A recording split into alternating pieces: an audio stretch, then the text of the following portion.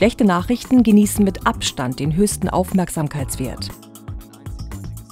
Sie können das Image eines Unternehmens nachhaltig schädigen oder sogar ruinieren. Unvorbereitet unterschätzen viele Firmeninhaber, Geschäftsführer oder Pressesprecher den Zündstoff harmlos klingender Fragen von Journalisten. Sie demonstrieren unbewusst eine aggressive Körpersprache oder geben kaltherzig Statements ab, die sie später bereuen. Dabei können auch negative Schlagzeilen durchaus positive Aspekte haben. Und zwar genau dann, wenn der Umgang mit der entsprechenden oder einer ähnlichen Krise vorher trainiert wurde. Präventive Krisenkommunikation, das Trainieren von Worst-Case-Szenarien und der souveräne Umgang mit den Medien sind von größter Wichtigkeit, um spätere Imageverluste einzugrenzen oder noch besser auszuschließen. Wir bereiten Sie darauf vor, dass Ihre Kommunikation im Ernstfall überzeugt und Ihr guter Ruf keinen Schaden nimmt.